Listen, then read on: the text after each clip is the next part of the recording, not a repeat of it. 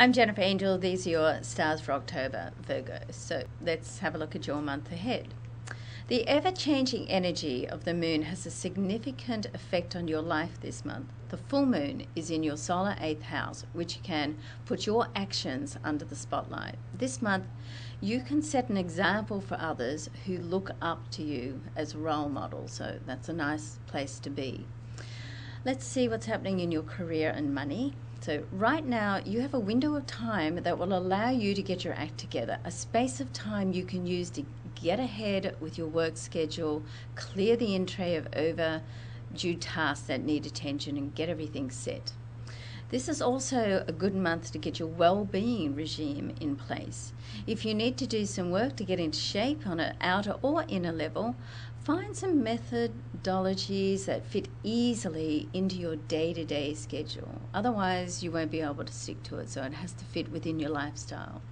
Now, Mercury, the planet of commerce, interacts with the business planet Saturn on, on the 6th, which can make you cautious with the choices that you have made. But any decisions you make now will be solid for the future. And of course, Mercury, don't forget, is your ruling planet, so it has a greater significance in your life. Now, love and romance, early in the month, love and money could be combined with a sensitive discussion taking place. And although this can be confronting on one level, you have a way of connecting with people that puts the other person at ease. So don't worry about it too much.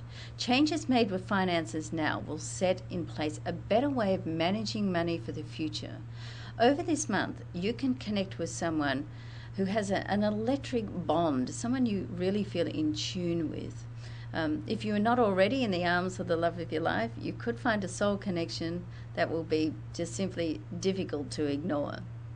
So watch out for that. Now, your key numbers for the month, I've given you five numbers this month, which allows you to put your own lucky number in the mix a 6, 12, 13, 23, 24. And your defining day is October the 6th. Planet interactions on this day can provide you with the determination to manifest the life you want. I'm Jennifer Angel. Thanks for watching Virgo. See you next month.